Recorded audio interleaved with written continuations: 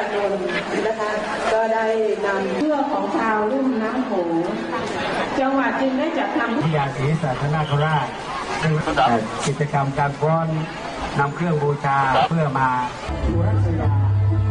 ซึ่งก่อนจะถึงนะครับ